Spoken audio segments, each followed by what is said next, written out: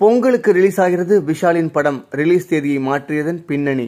பொதுவாக தமிழகத்தில் பொங்கல் ரிலீஸ் என்பது தமிழ் முன்னணி நடிகர்கள் நடித்த படங்களின் வெளியீட்டு கொண்டாட்டமாகத்தான் இருந்து வருகிறது. ஆனால் சமீப காலமாக பேன் இண்டியா ரிலீஸ் என்ற பெயரில் மற்ற மொழிகளில் உருவாக்கப்பட்ட படங்களுக்கும் கூட இங்கே பண்டிகை தினங்களில் வெளியாகி கல்லாக்கட்ட ஆரம்பித்திருக்கிறது. அந்த வகையில் ட்ரிபிள் ஆர் ஜனவரி ஏழாம் தேதியும் ராதேஷ்யாம் படம் இந்த பொங்கல் பண்டிகையில் ரிலீஸ் ஆவதாக சொல்லப்பட்டிருந்தது.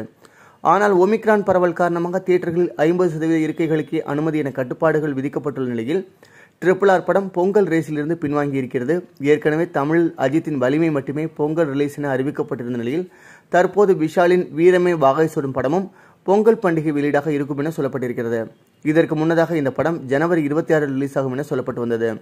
ட்ரிபிள் ஆர் படம் பின்வாங்கியதால் அவற்றிற்கான தியேட்டர்கள் பாதி வலிமைக்கு சென்றாலும் மீதியுள்ள தியேட்டர்கள் கிடைத்தாலே அதை வைத்து விஷாலின் வீரமே வாகை சூடும் படத்தை வெற்றி படமாக்கி விடலாம் என கணக்கு வைத்திருக்கின்றனர். தீபாவளியின் போது அண்ணாத்தை படத்துடன் தனது எனிமி படத்தையும் துணிந்து ரிலீஸ் செய்தார் விஷால்.